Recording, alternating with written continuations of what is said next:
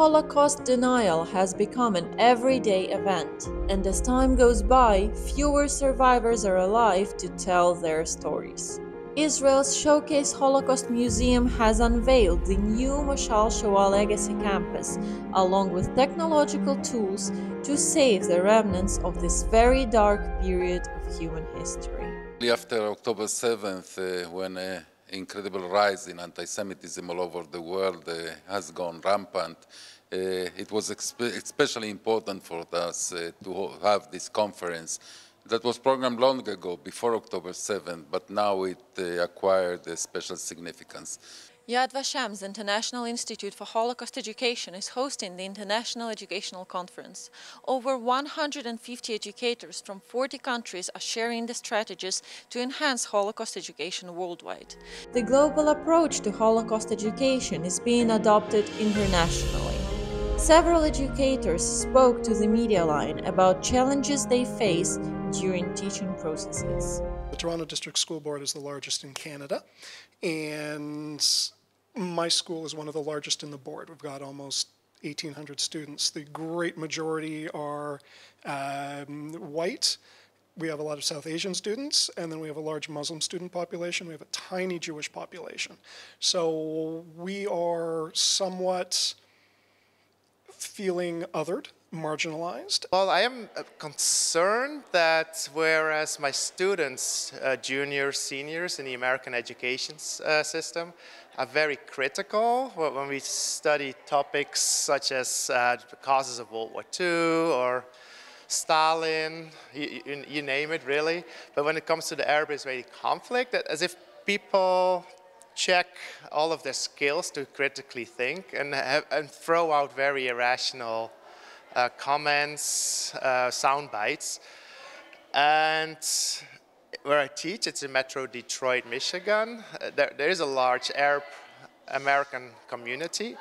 And I feel that sometimes maybe they are too quick to judge uh, the state of Israel. And then it's, it's also beautiful in a way to see that they are open to, to conversation and further research and then write very good essays that perhaps would have been one-sided prior to, but following some encouragement, a nice open-minded conversation that, that uh, end up with very, yeah, I would say sound conclusions that the challenges their perhaps preconceived biases.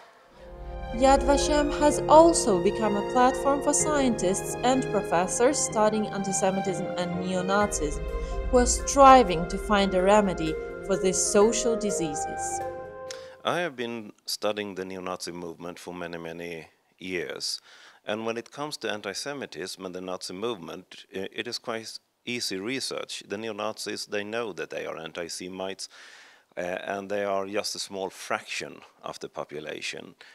Uh, in the 90s, they really posed a lethal threat to individuals and particularly to Jewish life and community and individuals. Uh, today, anti-Semitism, the threat of anti-Semitism comes from different discourses. I would say that what we have today is a perfect anti-Semitic storm. When people say today that they are against Zionists, I don't think that they realize uh, that they are talking about Jews, and I don't think that they understand what Zionism uh, is. New tools are vital in combating anti Semitic biases and are featured prominently in this educational event. It's funny because we're at a conference for Holocaust education, but it's becoming increasingly clear that Holocaust education does nothing to stop anti Semitism. So we really need more understanding of simply like what does it mean to be a Jew? What is Jewish culture? Understanding that there is not a single monolith. There's not like a single Jew. Uh, that if you look at what a Jew is across the diaspora, like different race, different ethnicity, same religion, same culture, same language. So I think it's important for people to understand more of what that means than just learning about the Holocaust, because that on its own clearly has not solved the issue. Well, what I do feel is most important is make that personal connection for the students. Uh, on the one hand, it, it, it, yes, it is a thing that happened 80 years ago, and at the same time, is it relevant for the student in my classroom? I would say absolutely. I feel that losing the human connection is, is going to be a, a, a huge loss and a huge challenge. Um, I think we, as the educators who've used survivors, have connections with survivors, I think we'll feel it more than the students. Um, I would like to say that we will just continue on with the virtual learning and the virtual testimony. It's what we're going to have to do. We, I, I don't know what other choice we have.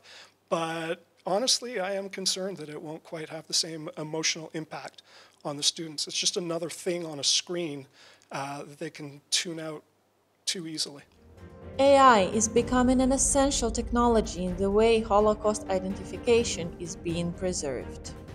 We are using AI in the field of in the archives here for uh, new ways of research, for new ways of search, for new ways of even getting new names of victims out of all the documents that we already have or testimonies that we already have but had but we had no ability to, to actually exert uh, names of, of, victims out of. Through AI, that's on one hand, we are now creating new uh, inter interactive uh, uh educational spaces in which we are uh, examining the ways to actually help students to uh, read, for example, photos in a more accurate, uh, interactive way. Danny Dayan served as Israel's Consul General in New York before leaving the position in 2020 to help unite the Jewish people. When I returned uh, from my position in New York, I uh, returned very passionate about uh, the relationship between Israel and the diaspora.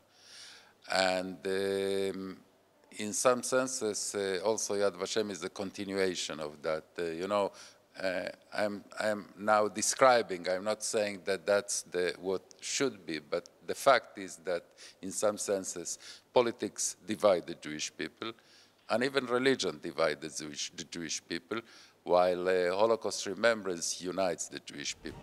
Yad Vashem's new Moshal Legacy campus, designed to enhance Holocaust education and research, includes advanced classrooms, a modern research center, and interactive exhibits aimed at preserving and teaching the history of the Holocaust. The Moshal Shoah Legacy Campus uh, uh, will have in its uh, heart the Shapell uh, Collection Center, as well as a new auditorium and uh, two uh, spaces where we can uh, uh, enlarge and actually double our ability to show exhibitions for the public.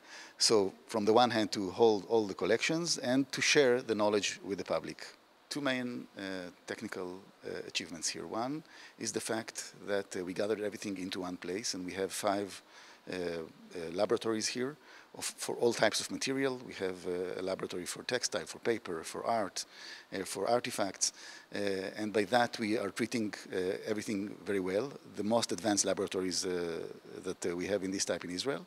And the second one is that we have the best, the best safe, the best places here in the building, five floors below ground, to keep all those treasures in the most advanced way. It is the best in Israel technologically. From Jerusalem, Veronica Neifakh reporting for the Media Line.